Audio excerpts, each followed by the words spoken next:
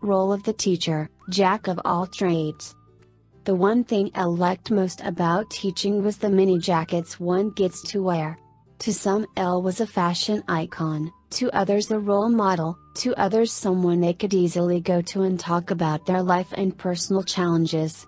Hence, the code of conduct for teachers stretches even to their communities and homes. Their mere being impacts the lives of the country's generations and helps build a nation, academically and socially. My role model. In 2002, Elle was doing my grade 4 level, taught by a tall slim and soft-spoken woman from Bulawayo. During the second term of that year, she got married to a local pastor and she had just turned 30 years old. I remember how much Elle envied her.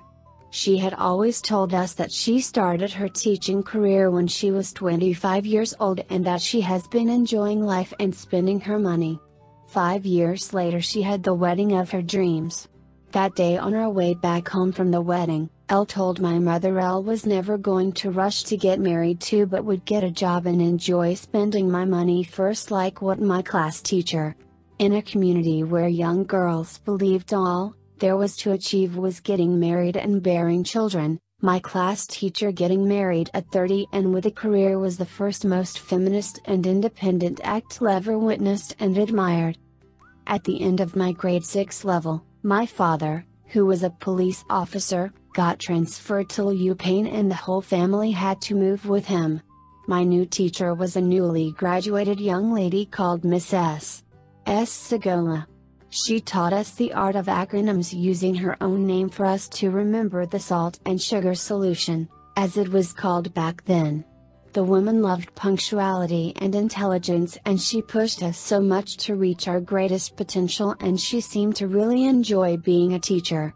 Her first year as a teacher and her first class, Elle won the Best Student in the Province prize at the Better Schools Program of Zimbabwe, BSPZ, and since then I've embraced the art of working hard till the very end and not to allow my age determine what Elle can or cannot do.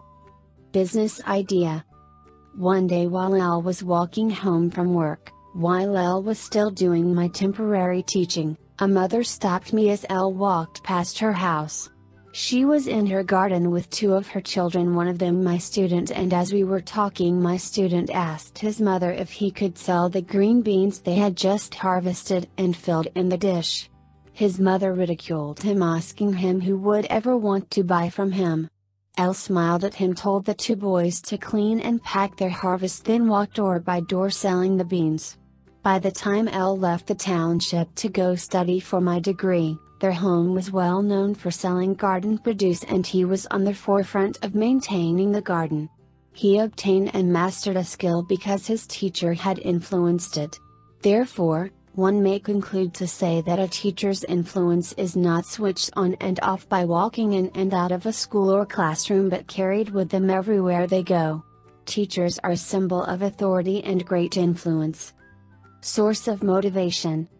In addition, Elle managed to be an inspiration and role model to a class of Form 4 candidates. I was the girl whom they grew up playing make home with Elle was now their teacher. Some of my students would come and ask me how did it and sometimes L would drop some motivation and encouragement during class telling them that there was no big secret to it other than one's self-determination and hard work.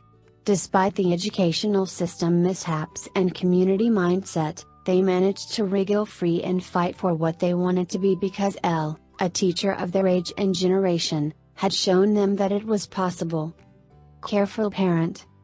Another crucial yet complicated hat that teachers have to wear, is the parent like role. When parents discipline their children at home without any success, they resort to threats such as, Elle will tell your teacher or your headmaster, mistress. When students come to school, parents expect teachers to keep an eye on their children so that they not only obtain academic knowledge but they are disciplined and learn how to live and work well with others.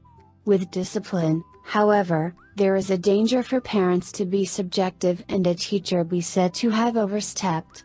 Therefore, a teacher has to discipline each child also bearing in mind the student's background. Find your role as an English teacher abroad today. Speak with an ITTT advisor today to put together your personal plan for teaching English abroad. Send us an email or call us toll free at 1 800 490 0531 to speak with an ITTT advisor today.